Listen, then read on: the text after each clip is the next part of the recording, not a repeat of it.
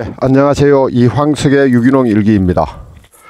어제 그제 새송이 나는 거요. 그거 확인 좀 하러 왔습니다. 얼마나 자랐는지. 와, 여기 아주 잘 크고 있습니다. 탐스럽게 진짜 참 탐스럽게 크고 있네요. 자기 이어와서 한번 봐라.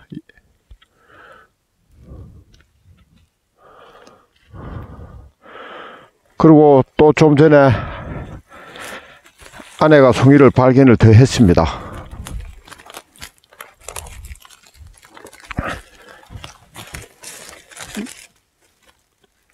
여기 두 개, 세 개, 네 개가 났습니다. 이거는 작년에 송이를 따고 꽂아둔 막대 같고요. 이거 하고 여기 하고 이제 올해 또 송이가 제대로 나주네요. 여기에는. 아, 밑에 여기도 긴가? 이거는 아니네요.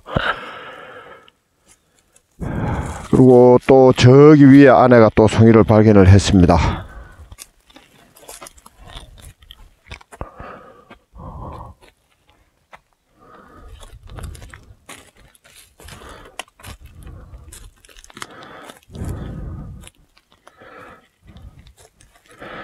아,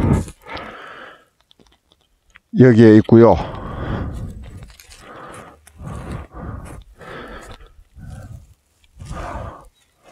여기에도 있고.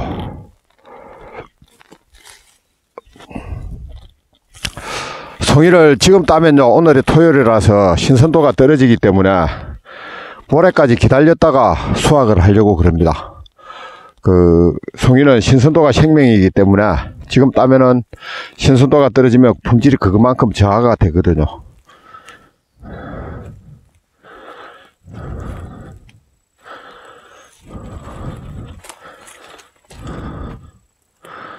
아, 여기도 하나 있네요.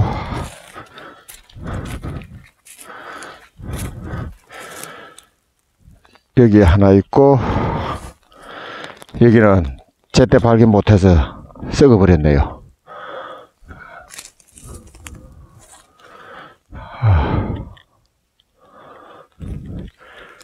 예, 감사합니다.